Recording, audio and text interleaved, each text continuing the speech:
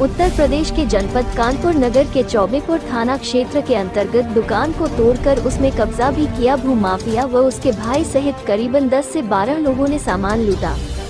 वही चौबेपुर थाने की पुलिस ने उल्टा पीड़ित पर ही कर दी कार्रवाई। पीड़ित ने पुलिस कमिश्नर ऑफ़िस में जाकर दिया है प्रार्थना पत्र और लगाई न्याय की गुहार। वही पीड़ित को पुलिस कमिश्नर द्वारा मिला उचित कार्यवाही का आश्वासन। कानपुर पुलिस कमिश्नरेट अंतर्गत पड़ने वाले थाना चौबेपुर के पीड़ित अनीस अहमद ने बताया है कि प्रार्थी की दुकान नई बाज़ार जीटी रोड, बंदी माता रोड के पास है। प्रार्थी उसी दुकान को चलाकर अपने परिवार का भरण पोषण करता है। प्रार्थी की दुकान में कुछ दबंग, भूमिया राम जी पांडे, उसका भाई राहुल पांडे व अन्य 10 से 12 आपराधिक साथियों ने उसकी दुकान पर जाकर उसका सामान लूटा व उसकी दुकान में कब्जा भी कर लिया है।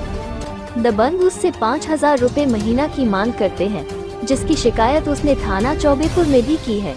थाना चौबेपुर पुलिस ने उल्टा पीड़ित पर ही कार्रवाई कर दी जिससे पीड़ित बहुत डरा हुआ है। दबंग लोग अपने आप को बीजेपी से जुड़ा हुआ नेता बताते हैं। पीड़ित ने पुलिस कमिश्नर को अपना प्रार्थना पत्र देकर न्याय की गुहार लगाई। कानपुर से एएस न्यूज़ आपका सच के लिए फरमान वारसी की रिपोर्ट। क्या नाम है आपका? अनीश अहमद नाम है? चौबेपुर कांति नगर क्या मामला हो गया आपके साथ? हमारी दुकान पे कल सत्रह तारीख की रात में लूट हुई है।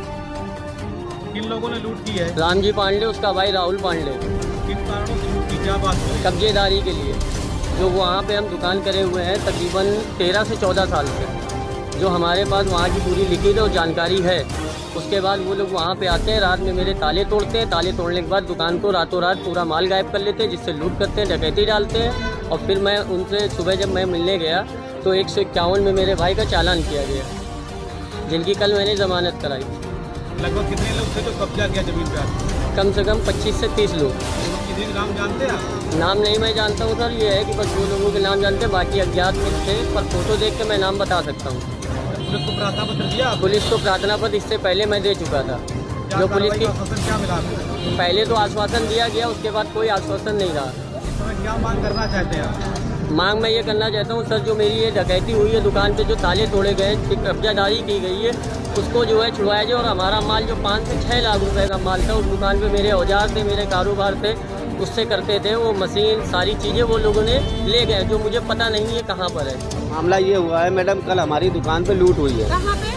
चौबेपुर नई बाज़ार बंदी माता रोड। की दुकान थी आपकी? फर्नीचर की दुकान थी अच्छा हमारी। कितने की लूट हुई है?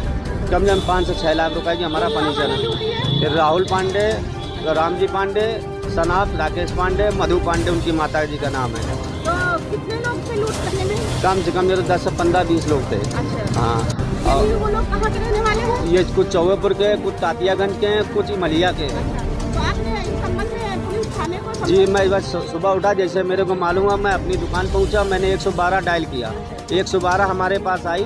फिर हमको और अदर पार्टी के एक बंदे को लेके गई थाने में और मेरे को आठ बजे ले गई और ढाई बजे मेरे दोपहर में ढाई से तीन के बीच में हमारा एक सौ इक्यावन पे चालान किया, जिससे मैं पाँच छः बजे साढ़े छः सात बजे मैं जमानत करा के चौ बिल्लौर से आया।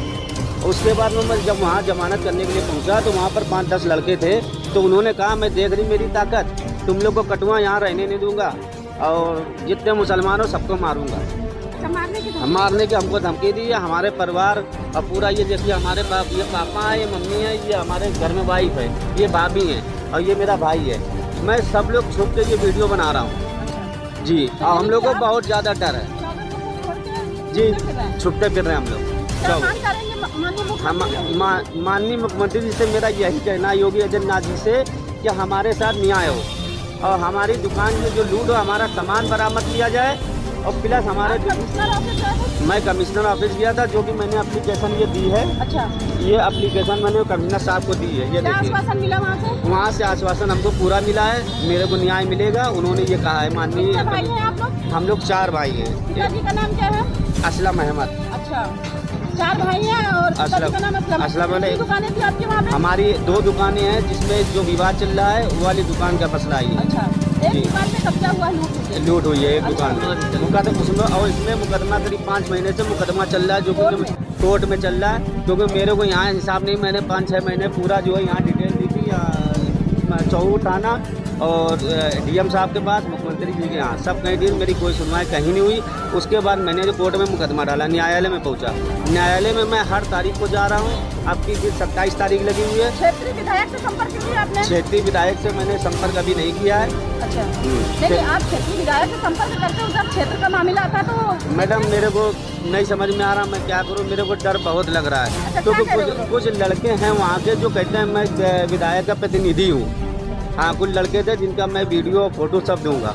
और वो लोग आके मेरे को डराया बहुत ज़्यादा विधायक जी का नाम लेके जिससे मैं बहुत डरा हुआ हूँ इनके इसलिए आप बीवी बच्चों को बीवी बच्चे को लेके मैं लोग हम लोग सब लोग आउटसाइड है वहाँ घर पे नहीं है हम लोग। तो माननीय मुख्यमंत्री योगी जी से हमारे चैनलों के माध्यम से आप क्या कहना चाहेंगे? माननीय मुख्यमंत्री जी से मैं यही कहना चाहूँगा हमको न्याय मिले हमारे परिवार को क्योंकि हमें डर लग रहा है कि हमारे ऊपर फर्जी मुकदमे वहाँ हो सकते हैं।